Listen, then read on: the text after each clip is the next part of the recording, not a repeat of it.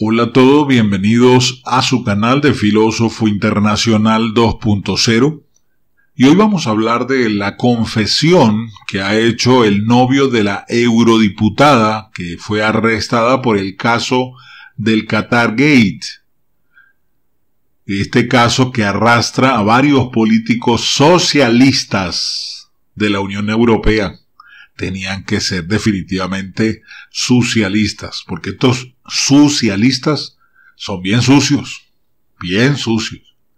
Bueno, y como les gusta la platica, por eso se vuelven socialistas.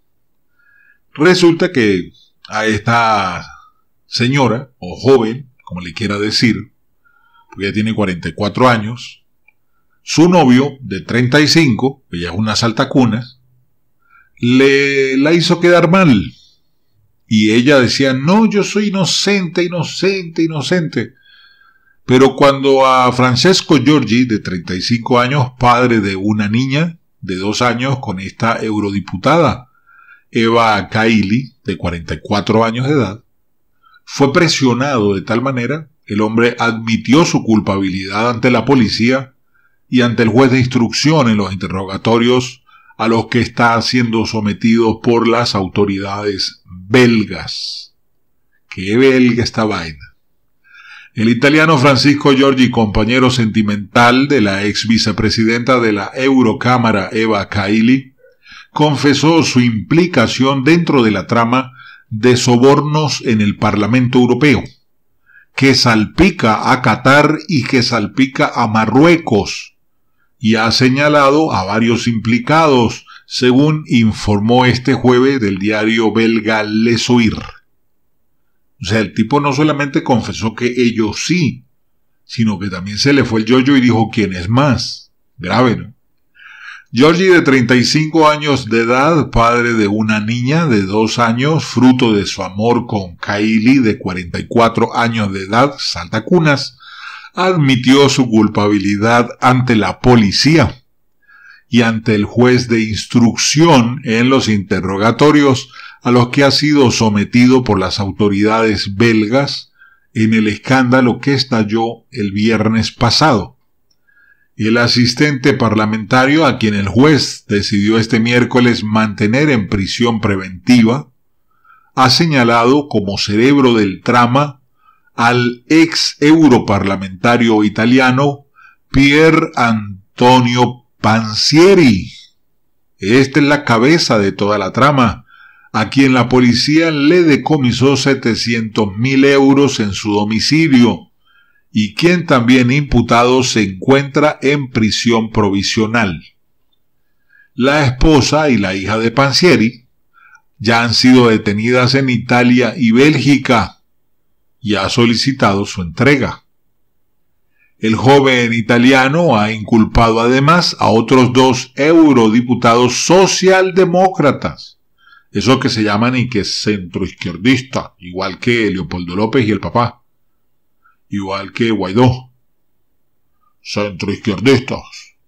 Bueno, el belga Marc Tarabella, cuyo domicilio ya fue registrado por las autoridades en el marco de la investigación, pero quien se encontraba en libertad y al otro eurodiputado Andrea Cosio Cosolino, para quien Giorgi trabaja, o trabajaba, mejor dicho, porque después de Sapo va para afuera, como asistente. Kylie, por su parte, se encuentra en prisión provisional, tiene fijada su visita ante el juez para el próximo 22 de diciembre, tras no haber podido comparecer este miércoles por la huelga de funcionarios. En los registros, la policía encontró cientos de miles de euros en metálico en el domicilio de Kylie y de Georgie, con quien mantiene una relación desde hace cinco años.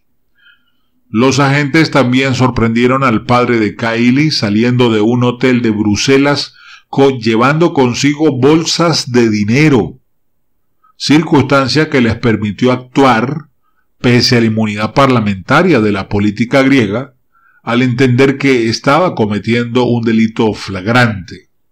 Les oír, un diario que junto con Kanak dio la primicia del escándalo, agrega que Georgie no imputó a la europarlamentaria belga María Arena, a quien no ha alcanzado por ahora la operación policial, pero quien ha hecho público que uno de sus asistentes en la Eurocámara está también inculpado en dicha trama. Los nuevos datos revelados por ese periódico apuntan cada vez con más fuerza a Marruecos, no solo a Qatar, como el único país origen de los sobornos. Señalan en concreto al embajador de Marruecos en Polonia, Abderrahim Admoun, y a otros dos agentes del servicio secreto marroquí, a los que todavía no se les conoce su identificación, su identidad. Dime qué piensas.